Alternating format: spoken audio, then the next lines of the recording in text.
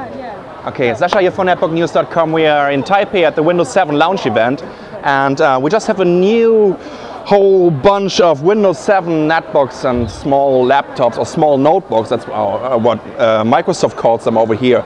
But let's start over here with the Acer Ferrari One, something that we already saw on our website about two months ago. So it's an 11.6 inch version uh, with an AMD Athlon MB40 and um, yeah, pretty, pretty neat design for all these fans of the Scuderia Ferrari. You can see this little sign, the Cavallino Campante. Oh, Cavallino Rampante, sorry for the Italian guys, you know.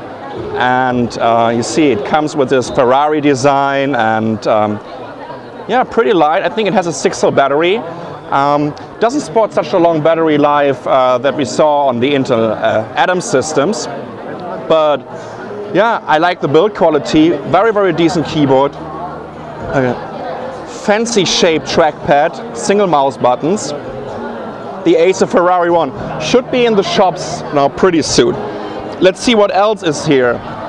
We have over here an Aimtek LA10. This is something that I've never seen before. Reminds me a little bit of the first generation of the Acer Aspire 1. You can see the small um, trackpad over here with the mouse buttons on the left and on the right side.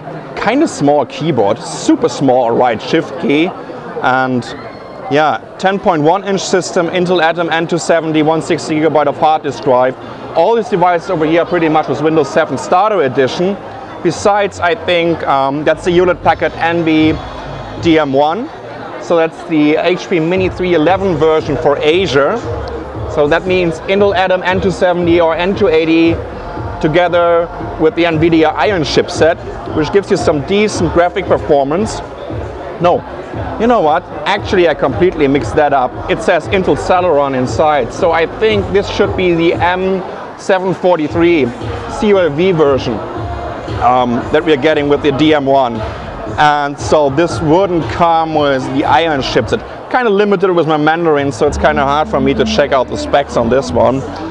Let's go back to the second shelf here, EeePC 1008HA, a device that we already saw before. I think ASUS is even putting 250 gigabyte hard disk drive together with the Windows 7 Starter Edition in there. So kind of upgrade to the previous version with Windows XP Home Edition.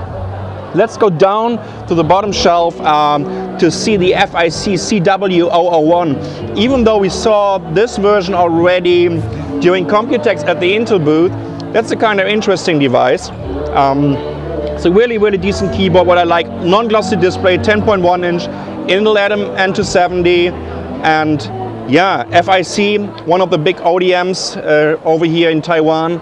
So I'm sure they're just looking for an uh, OEM to brand this netbook ASAP. So what else do we have? A Gigabyte M1022. That's the booktop version where we already had our unboxing and hands-on, I think back in July or June, something like that, at, the Gigabyte headquarters.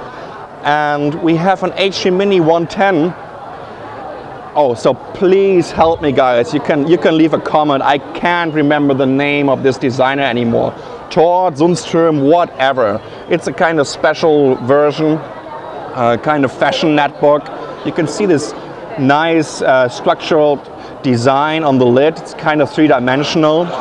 So I saw this one for the first time during IDF in uh, San Francisco.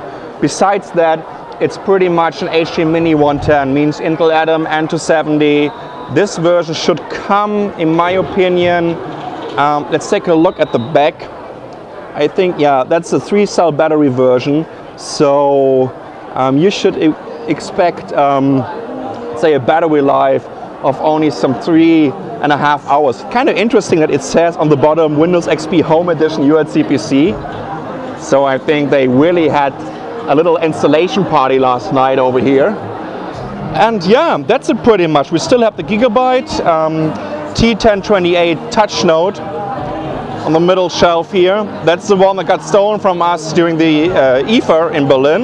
So whoever that did, thanks a lot. Um, and thanks a lot to Gigabyte, you know, for not completely freaking out on us. So yeah, it's an NetVertible, as you can see. And finally, with Windows 7 and with the capability of, um, of the touchscreen capability in Windows 7. You know, this gives you a lot of advantages. So quite quite a lot of uh, netbooks with Windows 7 over here. You know what? Let us also just head over there for a minute to see some recent nettops. I would like to take you over here because that's the EeeBox EB1501. I really really like this device. Intel Atom 330, that's a dual core Atom uh, for desktop and nettops. So offers you two, two Intel Atom 230 cores in one package.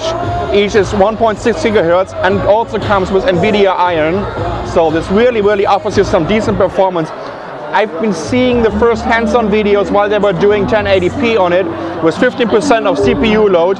So this could really be something that can stand in your living room as a home theater PC and uh, yeah really really cool device. As you can see full HD 1080 comp compatible and as SUSE is getting it on the market pretty much like now I think in Europe it's 399 euro.